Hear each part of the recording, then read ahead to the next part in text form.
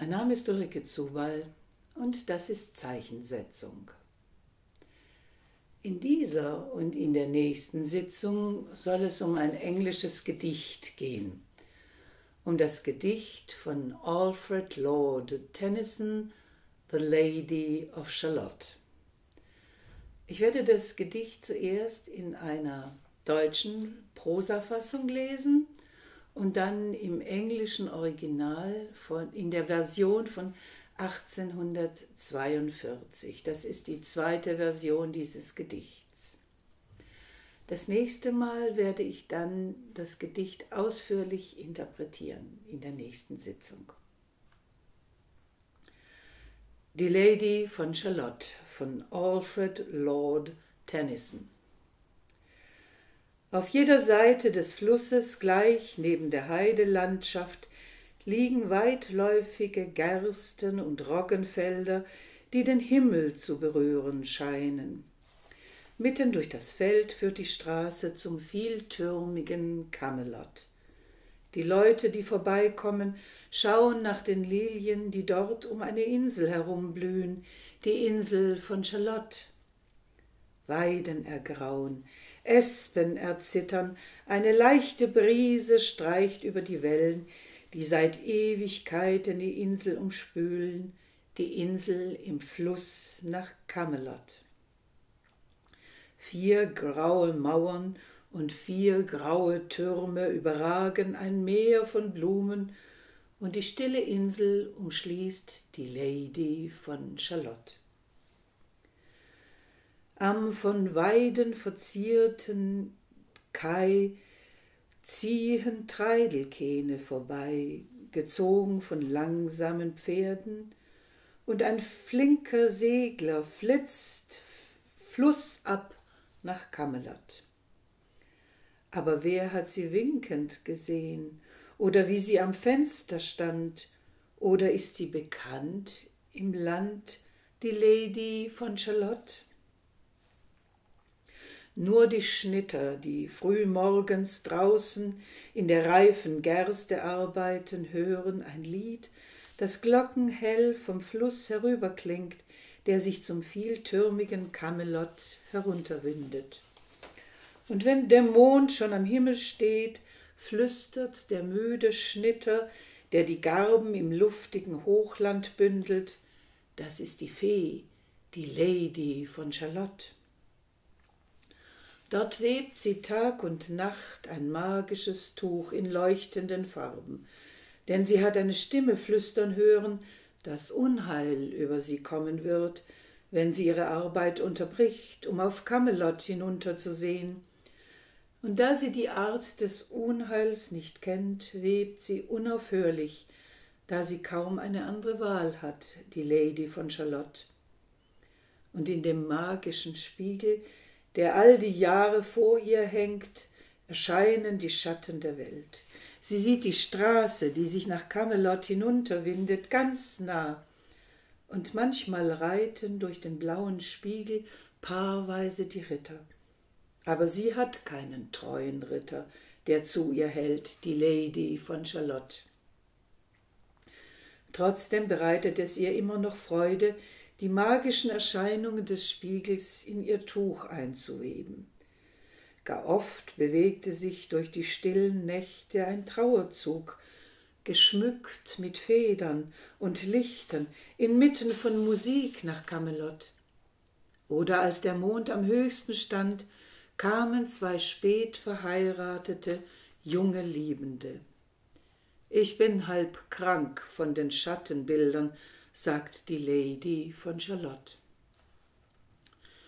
Nur einen Bogenschuss von ihrer Kemenate entfernt, ritt zwischen den aufgestellten Gerstegarben mit von der durch die Blätter fallenden Sonnenstrahlen leuchtenden Beinschienen Sir Lancelot.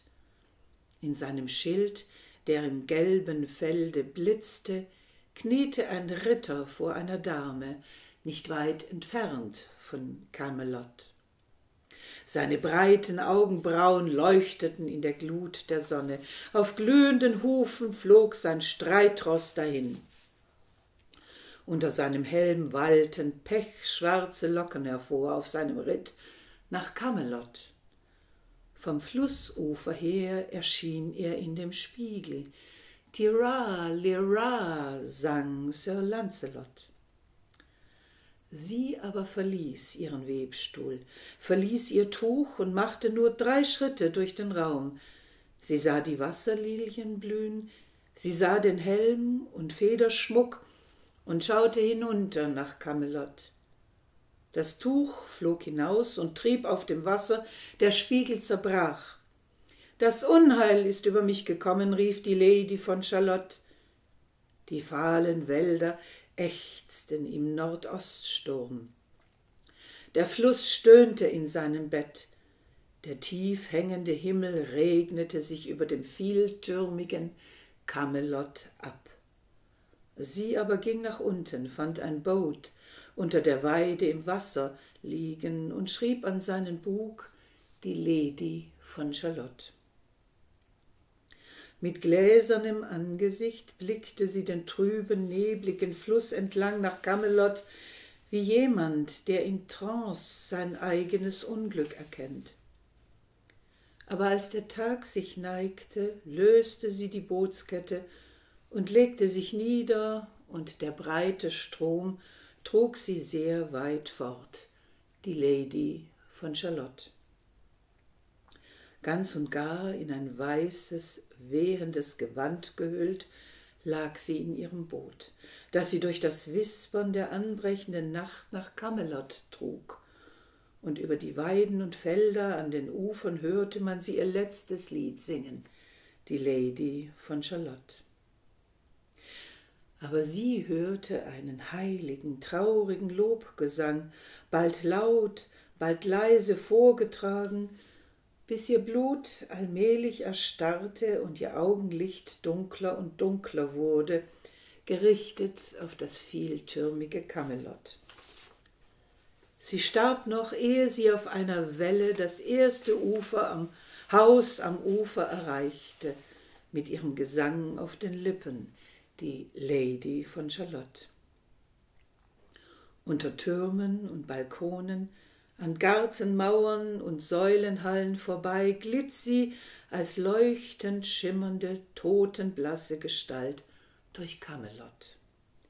Hinaus zum Hafendamm liefen die Ritter, Bürger, die Herren und Damen, und am Bug lasen sie ihren Namen, die Lady von Charlotte. Wer ist das? Und was ist hier los?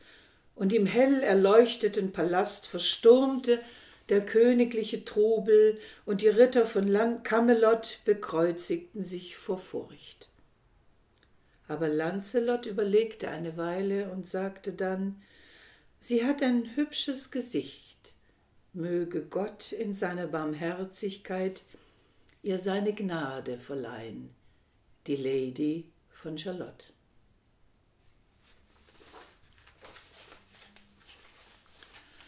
Nun die englische Version der Lady of Shalott von 1842.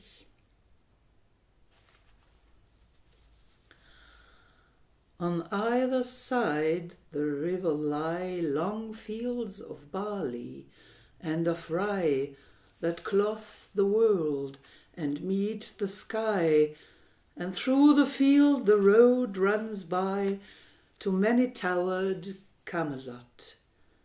And up and down the people go, gazing where the lilies blow round an island there below the island of Shalott. Willows whiten, aspens quiver, little breezes dusk and shiver through the wave that runs forever by the island in the river flowing down to Camelot. Four grey walls and four grey towers overlook a space of flowers and the silent isle embowers the Lady of Shalott. By the margin, willow veiled, slide the heavy barges trailed by slow horses and unhailed the shallop filleth silken sailed, skimming down to Camelot. But who hath seen her wave her hand, or at the casement seen her stand? Or is she known in all the land, the Lady of Shalott? Only reapers, reaping early, in among the bearded barley, hear a song that echoes cheerly from the river winding clearly down to towered Camelot. And by the moon the weeper, weary, piling sheaves in uplands airy, listening, whispers, "'Tis the fairy Lady of Shalott." There she weaves by night and day a magic web with colours gay. She has heard a whisper say, a curse in, is on her, if she stay to look down to Camelot. She knows not what the curse may be, and so she weaveth steadily, and little other care hath she, the Lady of Shalott. And moving through a mirror clear that hangs before her all the year, shadows of the world appear. There she sees the highway near winding down to Camelot. There the river eddy whirlst, and there the surly village churls, and the red cloaks of market girls pass onward from Shalott. Sometimes a troop of damsels glad, an abbot on a ambling pad, sometimes a curly shepherd lad, or long-haired page in crimson clad, goes by to towered Camelot. And sometimes through the mirror blue the knights come riding two and two. She hath no loyal knight and true, the Lady of Shalott. But in her web she still delights to weave the mirror's magic sights, for often through the silent nights a funeral with plumes and lights and music went to Camelot. Or when the moon was overhead, came two young lovers lately wed.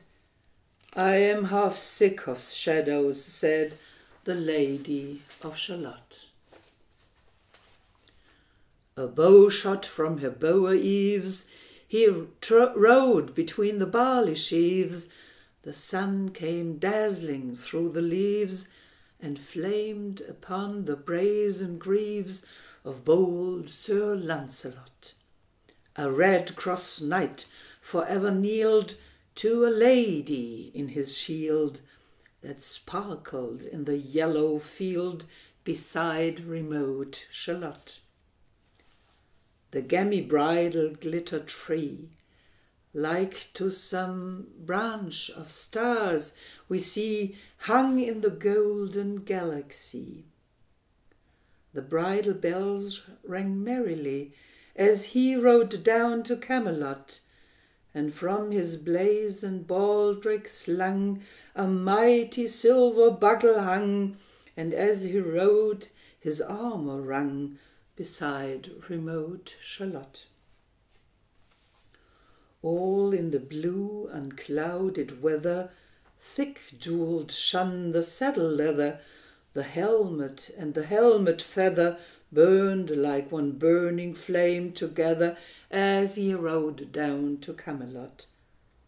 As often through the purple night, below the starry clusters bright, some beards of meteor trailing light moves over still Shalott. His broad clear brow in sunlight glowed, on burnished hooves his war horse strode. From underneath his helmet flowed his coal black curls as on he rode, as he rode down to Camelot. From the bank and from the river he flashed into the crystal mirror. Tira, lira, by the river sang Sir Lancelot. She left the web, she left the loom, she made three paces through the room. She saw the water lily bloom, she saw the helmet and the plume. She looked down to Camelot. Out flew the web and floated wide. The mirror cracked from side to side. The curse is come upon me, cried the Lady of Shalott. In the stormy east wind straining, the pale yellow woods were waning. The broad stream in his bangs complaining, heavily the low sky raining over towered Camelot. Down she came and found a boat beneath a willow left to float, and round about the prow she wrote the Lady of Shalott.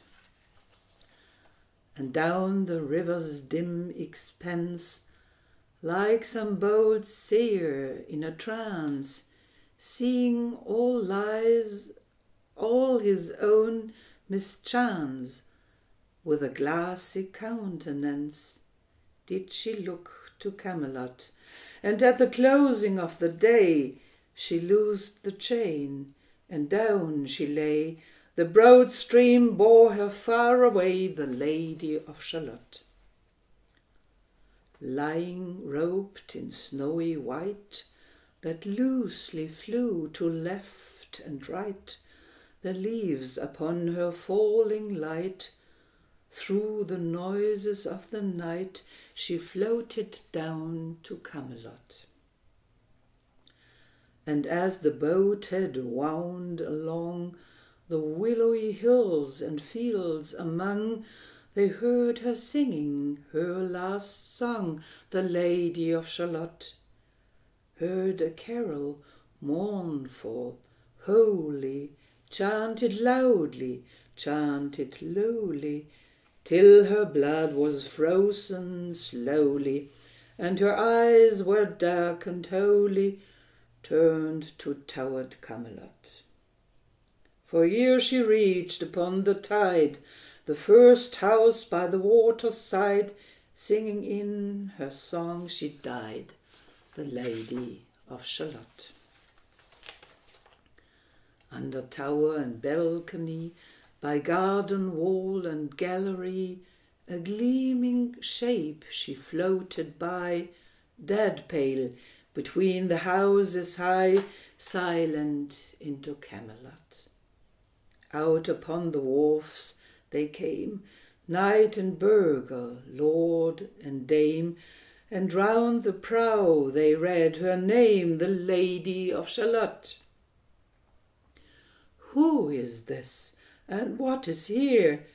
And in the lighted palace near died the sound of royal cheer. And they crossed themselves for fear, all the knights of Camelot. but Lancelot mused a little space. He said, She has a lovely face. God in his mercy Land her grace, the Lady of Shalott.